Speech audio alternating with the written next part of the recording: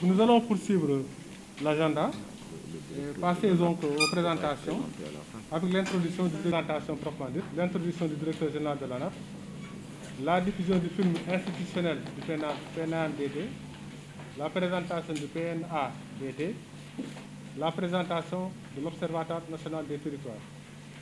Il y aura ensuite des échanges, la synthèse et la clôture donc des discussions par le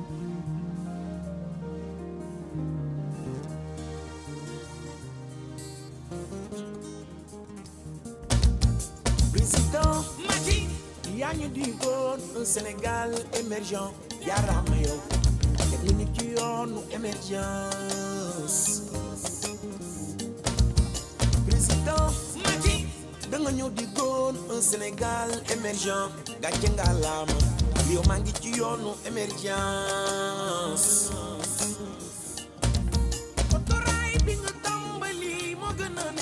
Di président.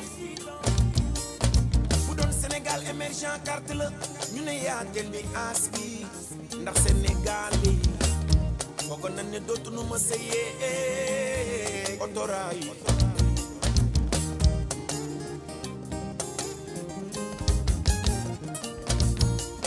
Bi nga indi express régional néew loonu na xembaay dangaa jël bi mu te gën a te gën a baax di gën a gaaw di gën a yaatu. Ci sa réew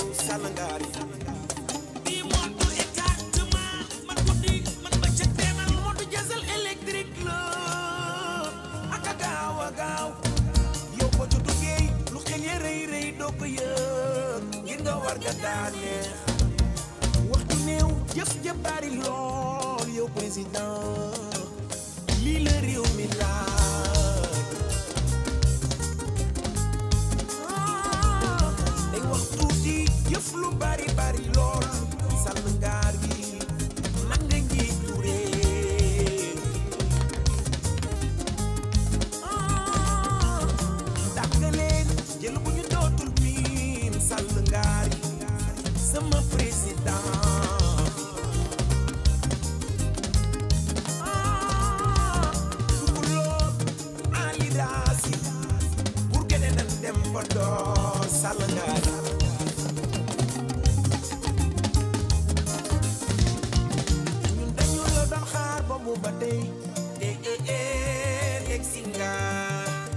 dañu la namoon train express régional sa rafetaay sa yaatuwaay li mooy émergence. Ci bu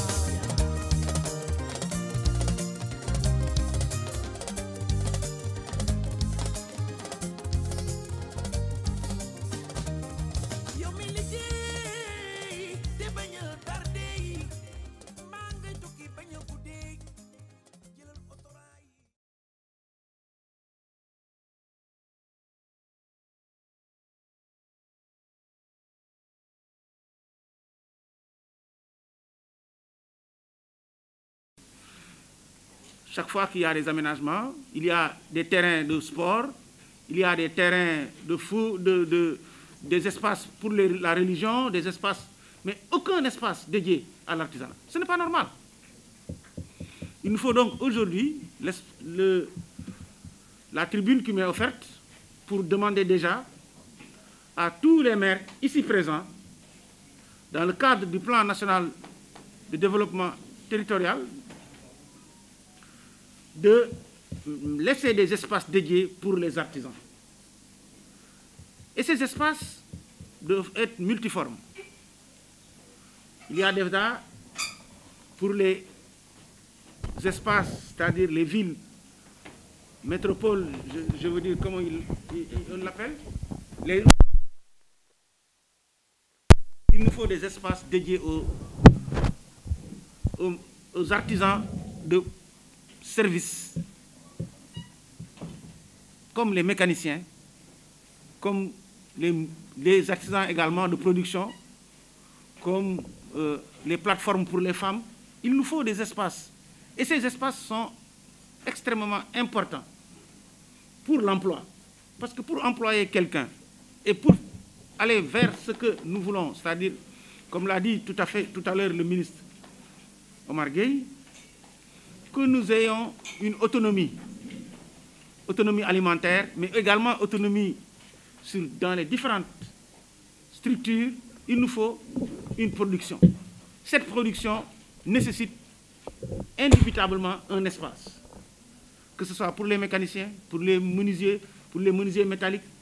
L'ensemble de ces personnes doivent avoir un accès. Donc c'était juste un plaidoyer et remercier encore une fois le ministre. Omar Gueye. De vulgariser le PNADT sur l'ensemble du territoire national.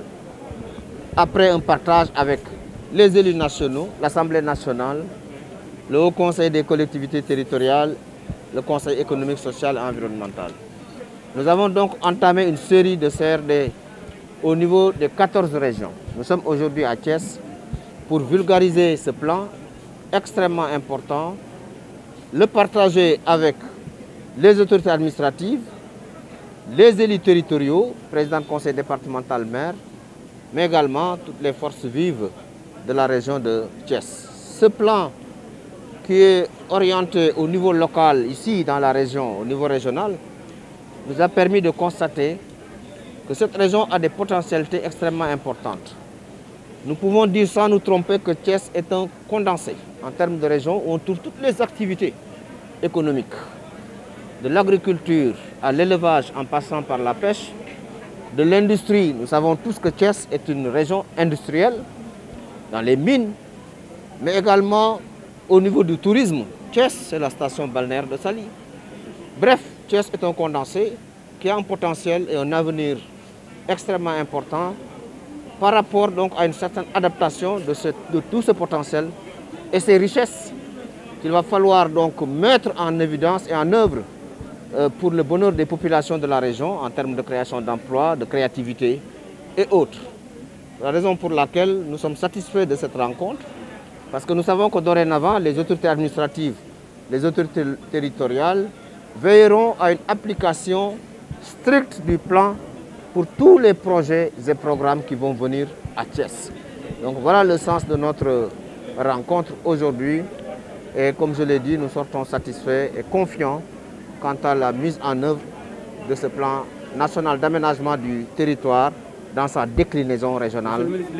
L'urbanisation, c'est un atout, mais une urbanisation maîtrisée. Parce que tous les potentiels de développement aussi se trouvent dans des zones urbanisées. Il ne faut pas qu'on l'écoule tout cela. Mais il faut l'organiser. Et le plan national justement euh, d'aménagement et développement territorial a prévu cela. Par la création de métropoles. Dakar étant une métropole internationale, nous avons 10 métropoles d'équilibre, dont Thiès et Mbour.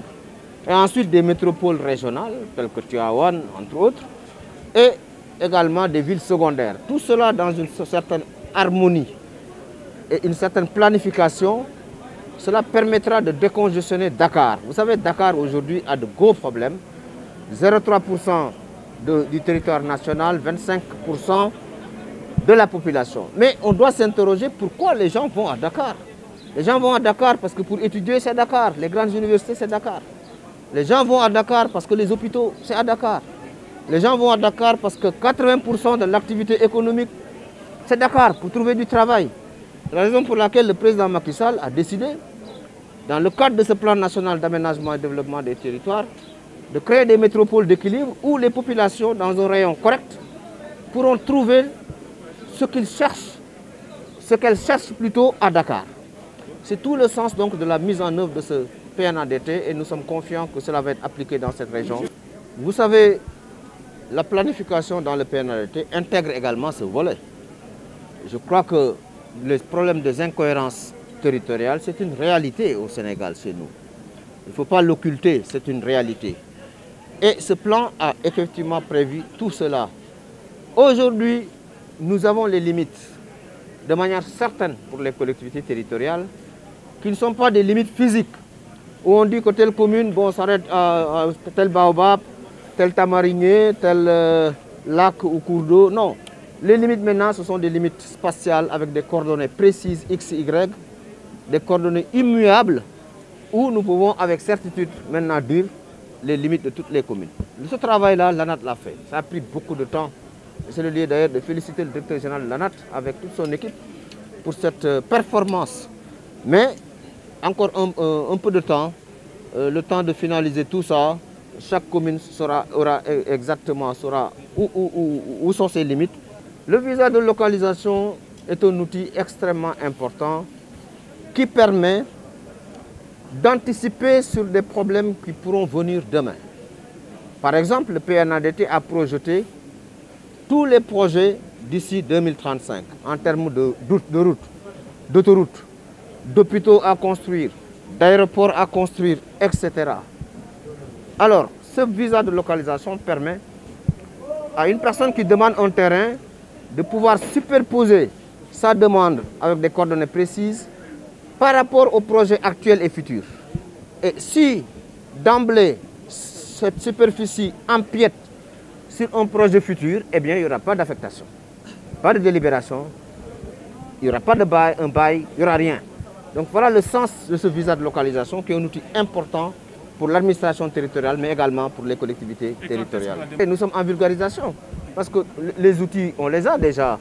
On a également, euh, la loi a été votée, les décrets d'application sont déjà préparés. Euh, Monsieur le Président de la République, son Excellence M. Macky Sall va les signer euh, très prochainement. On peut dire que le plan a démarré. Ça veut dire aujourd'hui, dans la région de Thiès, il y a un projet nouveau qui arrive. Monsieur le Gouverneur va, va regarder est-ce que ce projet est en cohérence avec le, le PNADT. Si c'est en cohérence, le projet passe. S'il n'est pas en cohérence, eh bien le projet ne passe pas.